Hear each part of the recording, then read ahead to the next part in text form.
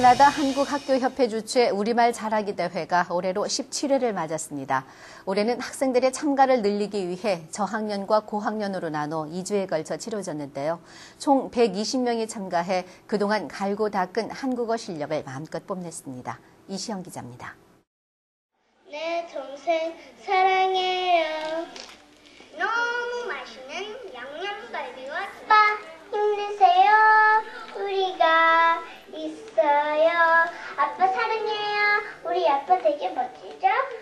어린이들은 내 동생, 가족, 한국 등 다양한 주제로 자신의 생각과 느낌을 또랑또랑한 목소리로 힘차게 발표했습니다. 아이들의 발표를 지켜보는 가족들은 마치 자신이 발표자가 된 듯 긴장한 모습으로 이들을 지켜보며 대견해 했습니다. 우리말 대회는 아이들이 자신의 생각을 글과 말로 표현하는 능력을 향상시킴은 물론 한국어의 소중함을 일깨워 줄 수 있는 좋은 경험을 제공하고 있습니다. 경험이었던 것 같습니다. 그래도 그 외우는 동안 음, 자기가 자기가 이렇게 외우고 나갈 수 있다는 그런 자신감이 생긴 것 같고 지난 토요일 스카브로 레디슨 호텔 컨벤션 홀에서 진행된 저학년 대회에서는 이 나이 양이 최우수상을 차지했습니다. 이 나이 양은 일상생활 속에서 바라본 아버지의 모습에서 느꼈던 자상함과 사랑을 유창한 한국어와 노래 실력으로 표현했습니다.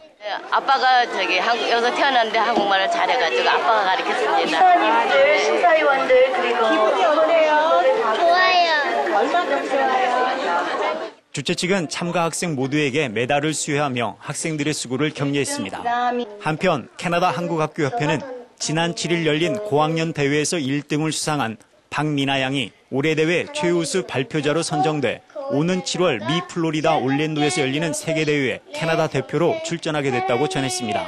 한국학교협회는 대회 주최와 학생들의 준비에 편의를 제공하기 위해 해마다 치러졌던 우리말 대회와 글짓기 대회를 경연제로 할 방침이라고 밝혀 18회 대회는 2011년에 열립니다. 협회는 오는 5월 초 한국 전통 문화를 알리는 한월 한마당 대회를 꿈나무 육성 기금의 밤과 함께 개최한다며 동포들의 많은 성원을 당부했습니다. 얼티비 뉴스 이시영입니다.